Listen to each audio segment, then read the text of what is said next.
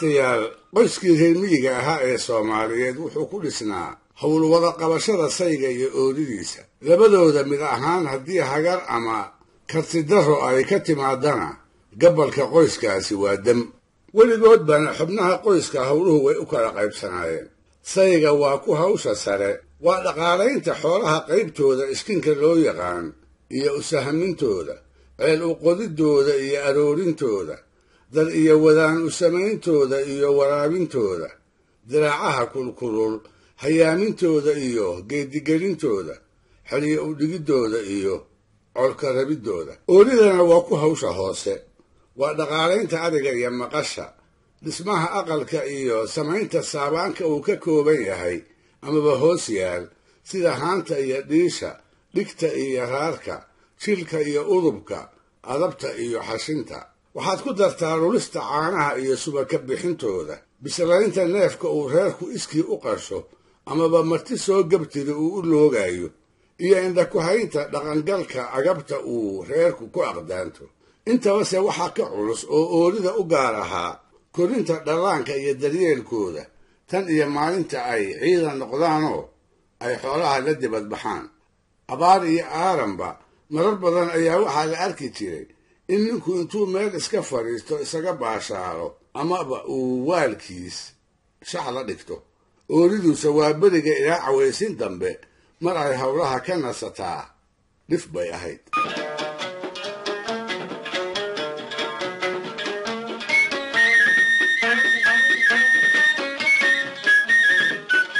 Sababahaa dartood inta aantada kaga dhammaan gabadha ina hebela guurkeeda wuxuu barbaarkii reemiyigu u kuurgeli jiray howlahaas ad adag ee laga filaayo inay tahay qof ka soo dhalaali karta iyo in kale.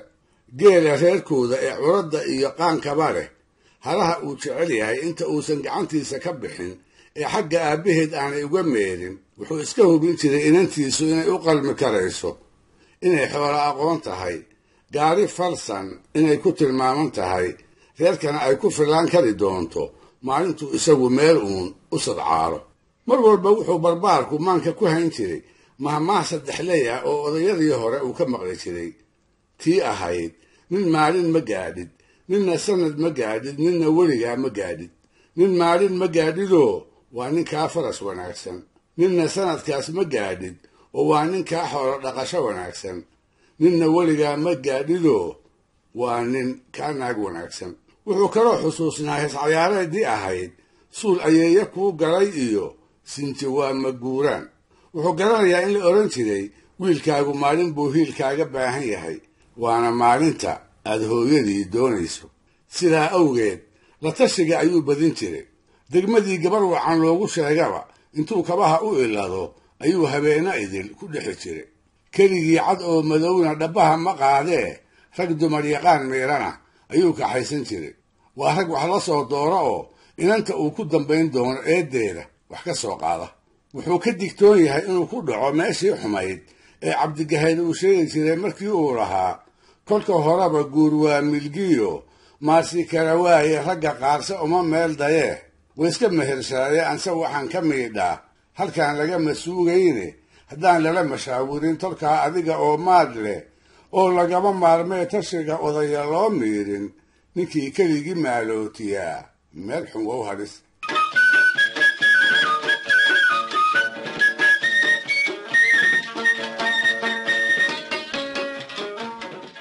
dadaalkaas ayaa ragga qaarkii wuxuu geyaysiin jiray inay doobguunnimo ku weynaadaan. Cidhidbaar iyo waxhubsasho siday ugu jiraan. Ayay mararka qaarkood soddongu iyo xaabxaab ku gaari jireen wax walbase sidaa filanaysay kuguma soo baxaan.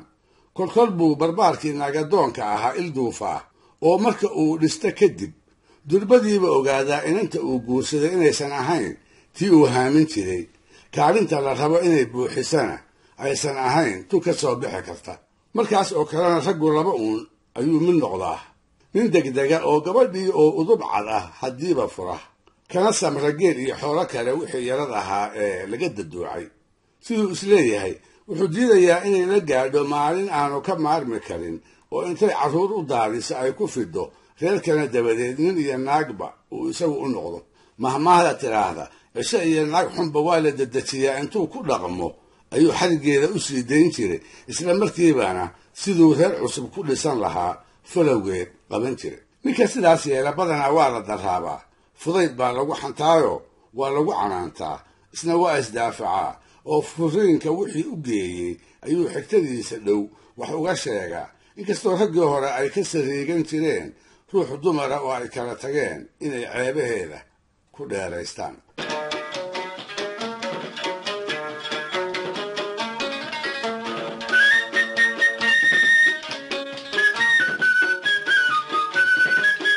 Si haddaba aan taa u tusaaleeyo aan soo qaato sheekadii uu ka tegey ninkii gabadha la aqalgalay ee kolkay habeen qura la hoyatay waa berigii inta furay aan saddexdeedii u kala reebin. Raggii ay xigtada ahayeene markii ay u yimaadeenoo wixii uu faray ay ku canaanteen. Sababtana weydiiyeen ayuu yidhi waxaan ku furay shan waxyaaloodoo ay tahay. Maxay yihiin markii la haybiyena wuxuu ku jawaabay waa xoora mubadaroo waa ayaan daran tahayoo waa dhaqaale xun tahayoo waa camal xun tahayoo waa qumanyo raggii ayaa hadalka ninka la amankaagay. Kolkaas buu midkood kula soo booday. War hebelow gabadhuba habeen keliya ayay kula joogtee. Sidee baad ku ogaatay waxa aad ku sheegayso inay tahay? Wuxuu yidhi shanta waxyaalood ee aan idiin sheegayba inay tahay baan idiin marinne. Aad ii dhegaysta. Waa marka koowaadoo waa xoolo mubadar oo kabihii oo aan iridda aqalka ku soo ilaaway ayay ma soo qaadina ka soo tallaabsatay oo gudaha iska soo gashay marka labaad waa ayaan daran tahayoo intaan waagii beriyin ayaa la xaday. Marka saddexaad waa dhaqaale xun tahayoo digsiba inta dabka saartay. Wax alla wixii xaabo ahaa ee ay haysatay ma kala reebine mar qura wada shidata. Marka afraad waa camal xun tahayoo dabkii oo huraaqaaya dabayshuna ay hugfinayso ayay afuuftay. Oo haddana afuuftay oo gunuunucday cabbaar yarna isagaaba iska ololi lahaaye u koran weyne marka shanaad waa qumayo oo dabkii ayay habaartay. Waxayna ku tiri imad alla daad ku seexi. Wax yar kadibna roob meel uu ka soo curtay aan la aqoon ayaa seexshay. Kiiyoo aan waxba lagu bislaysan.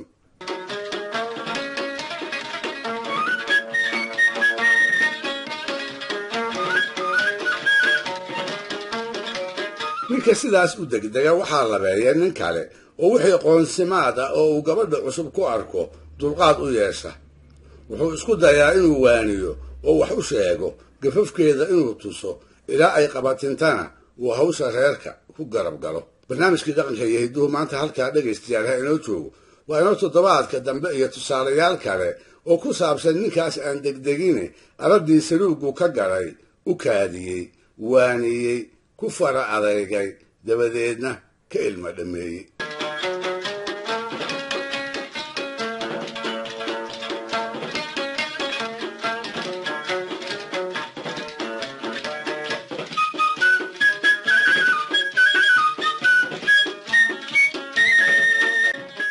dhegaystayaal goor la joogo iyo meel lagu sugan yahayba. Dadku markay isguursadaan dabinna ay wada joogaan.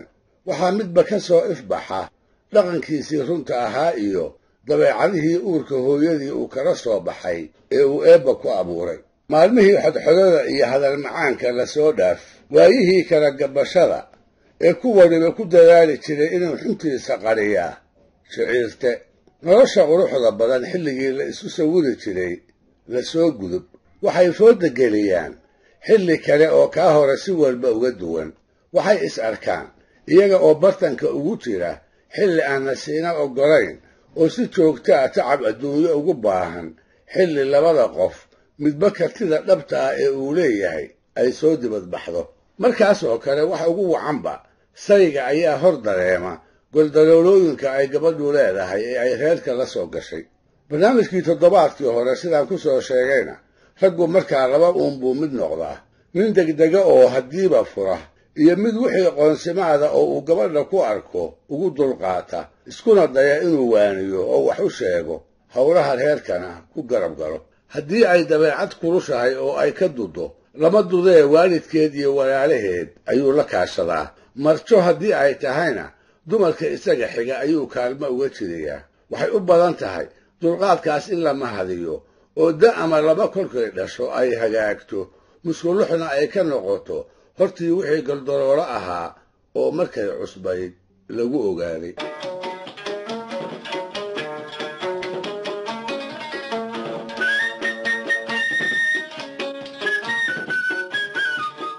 labada ninka dulqaadka lihi haddii uu gabay yaqaan isaga ayuu maciinsan jiray. Waxay la ahayd hadduu hadalkii wax ka tari waayey dhaqanka aanu jeclaysan ee gabadha uu ku arkay inay maansadu wax ka beddeli karayso.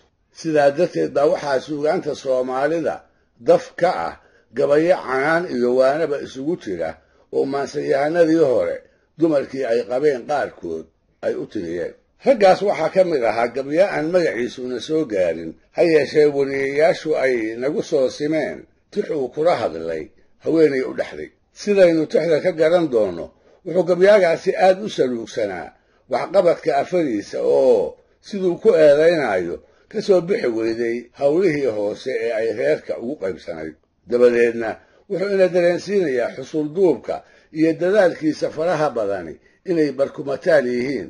Marba hooyadii qoysku haddii ay dhinaceedii gabtay barbarkeediina uu bakaylo qaleen noqday wuxuu ku soo gebagabaynayaa dhagaha afadiisu inay jufan yihiin oo waxba aanay ka maqal isna uu waanadeedii ku daalay ilaa uu isula ekaaday haan hoosta ka daroosha nin biyo ku dhaaminaya.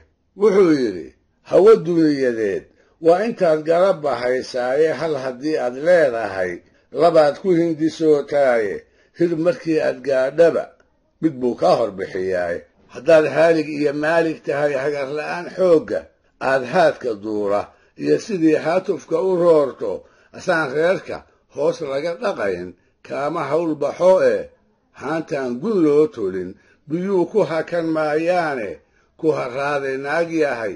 Intaan hoyday ku lahayn.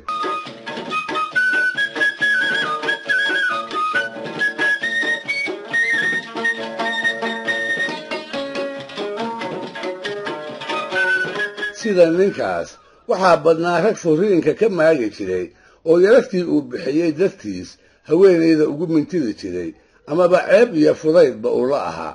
Arrintaana waxaynu tusaale uga dhigan karaynaa gabay caan noqday oo uu tiriyey maansayahanadii hore nin ka mid ahaa oo allaha u naxariistee maxamuud cali beenaley la odhan jiray.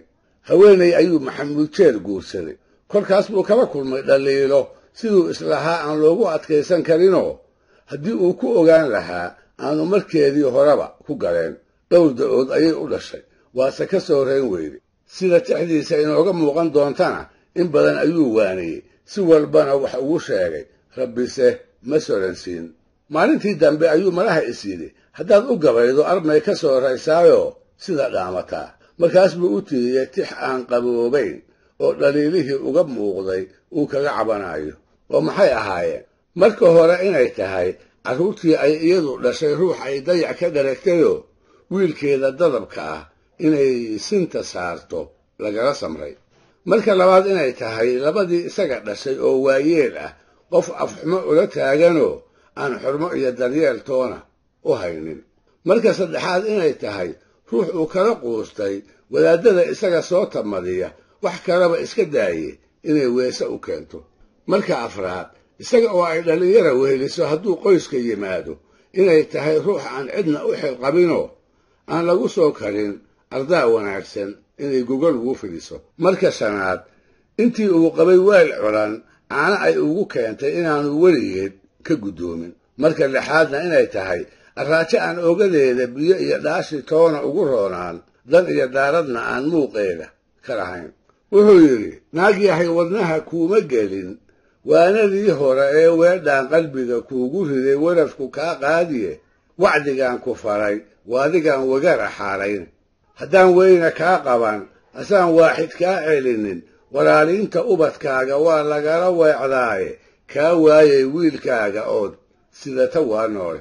Waayeel leh weer xun waa lagala waabtaaye kaa waayay inaad waalidkay waxu lillaysaaye wehel culimo kama maarmi karo aniga oo weyne kaa waayay weysada inaad weli u qaadaaye dhallinyaro waraanshayn.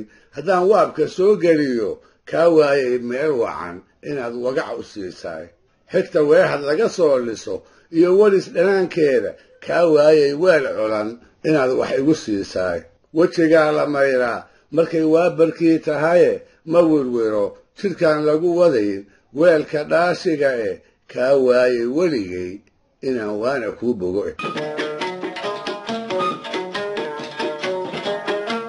qofka dumara ee uu sidaa ugu gebiyey in cali beenanay gadaalkii ma furay. Jawaabtiisi waxay noqotay maye waa isku gaboobeen. Markaas baan dhab u gartay. Wixii ay u jeedeen ooryahooda ay isla keeni waayaan raggii ku odhan jiray adna ilmada iga dhammee. Aniguna dhashaan kaa dhammayn. Raggii isku waanin jiray nin iyo naagtii colna ma aha nabadna ma aha raggii ku maahmaahay dumar nin u fiirsaday kama ilmo dhalin dhegaystayaal. Dhegaystayaal waxaa jira arrimo guurka raajiya oo taabagal ka dhiga iyo kuwa inuu dhexda ka kala jabo soo dedejiya.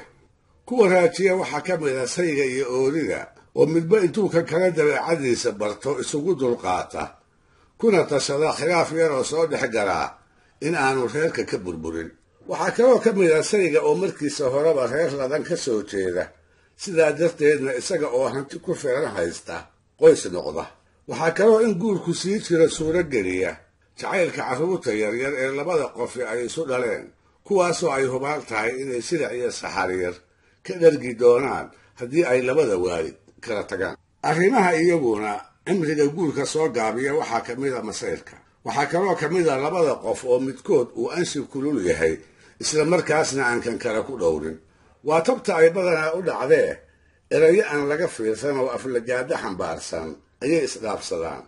Gacanka hadal baa ka dhasha isaguna wuxuu keenaa furiin iyo in la kala dhaqaaqo.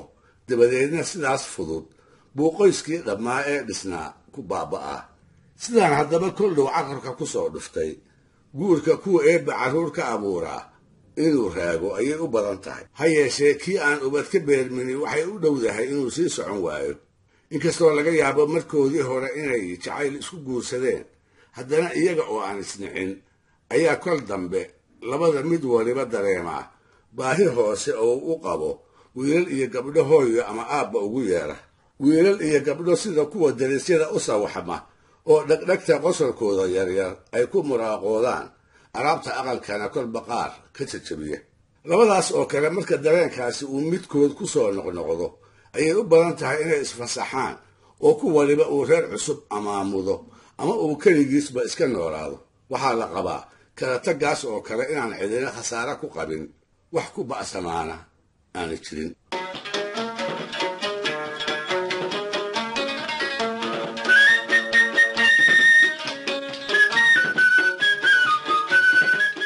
guurka caynkaa ku dambeeya waxaa allaha u naxariistee tix gaaban ku soo qaaday. Gabyaagii weynaa ee samatar baxnaan la odhan jiray.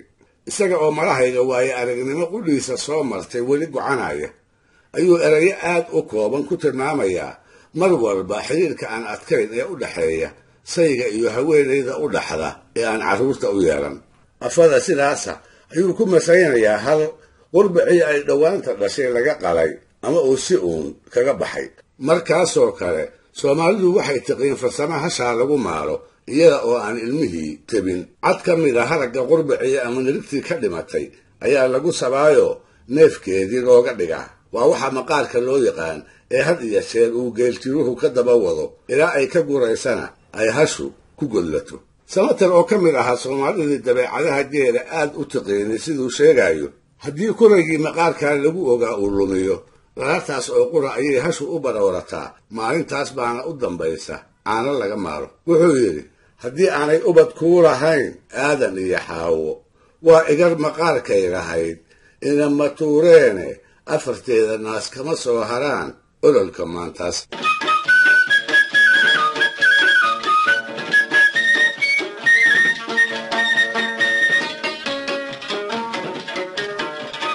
kastaba ha ahaatee soomaalidii hore iyo tan maanta markii la isu eego tii hore ayaa furiinku ku yaraa. Hase ahaatee wuu jiray. Maxaa yeelay bulsho aan laga aqoon furiinka dunida laguma sheegin. Waa hab loo soo rogay in lagu daweeyo oori iyo saygeed lagala quustay inay ka heshiiyaan khilaaf soo dhex galay. Waa hab diinta islaamka ku bannaan. Hase ahaatee sida laga wariyey nebi maxamed naxariis iyo nabadgelya korkiisa ha ahaatee. Waa waxa intii uu xalaaleeyey uu eebba ugu nacab yahay runtii soomaalidii hore furiinka kuma degdegi jirin. Ninka badsadaana kuma ammaanayn. Ragguse iskusi kama ahayn. Waxaa jiray qaar mar keliya ku tallaabsaday iyo kuwa dadka hablahooda fudayd ku soo xeraysta fudaydna reerka kaga saara. Aan haddaba tusaale u soo qaato laba gabyaa oo ka mid ahaa raggii guurka iyo furiinka badanba lagu bartay. Ninka hore waa cilmi cismaan oo gaadashi lagu naanaysi jiray. Wuxuu ku caan baxay arrimo bulshadii ay degaan wadaagta ahaayeen ay la ahayd inuu kaga duwanaa laguna xamin jiray. Maalintii dambe ayay kulmeen nin ka mid ahaa raggii ay kaftabi jireen. Kiibaa ku yidhi niyahow waa lagaa wada yaaban yahay. Marka koowaad haddii lagu arkaba waxaad sideetaa kitaabka dayrabiga la yidhaahdo ee falka iyo xidigiska laga barto. Marka labaad waxaa tahay nin geedi iyo guurguur lagu jaanjaamay oo wax yar aan xelana ku nagaan dadkana aan la degin marka saddexaad dumarka aad guursato waad dishaa haddiibana waad furtaa. Marka afraadna waa beriga ilaa fiidka goor noolba faal baad dhigaysaayo barida ayaa dhulka kuugu aasan ciiddana faraha ayaad kula jirtaa. Gaadashi arrimahaas mindaba ma inkirin ninkii xifaalaynayay iyo dadkii ku xaman jirayna tixgabaya ayuu ugu jawaabay isaga oo u sheegaya sababta uu tu walba u bannaystay. Wuxuu yidhi dayrabi kitaab buu sitaa. Diinta gabal weeye. Geedduu dawaaraynayaa daaqsisami weeye. Naaguhuu dilaayoo furaa. Damackawaa weeye. Faal buu daliilinahayaa. Dood nin raga weeye. Afartaa wixii lagu daraa. Xan iyo duuf weeye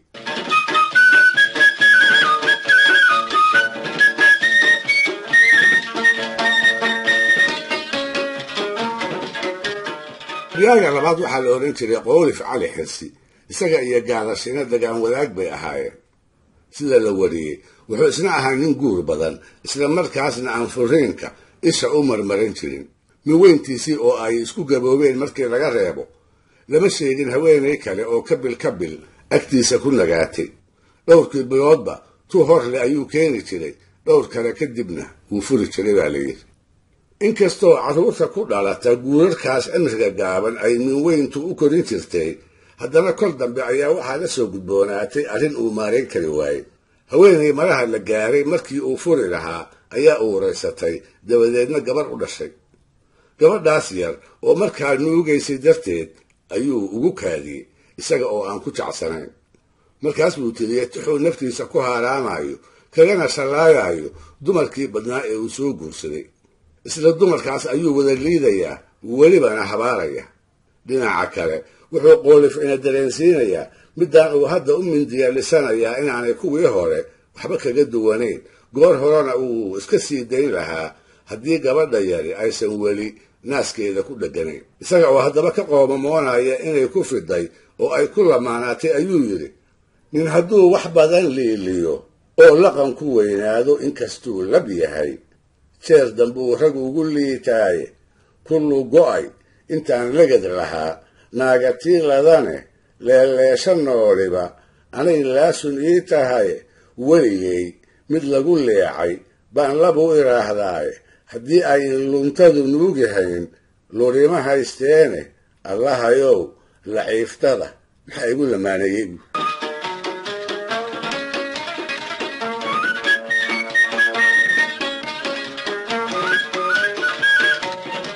dhegaystayaal barnaamijkii dhaqanka iyo hidduu maanta halkaa inoo joogo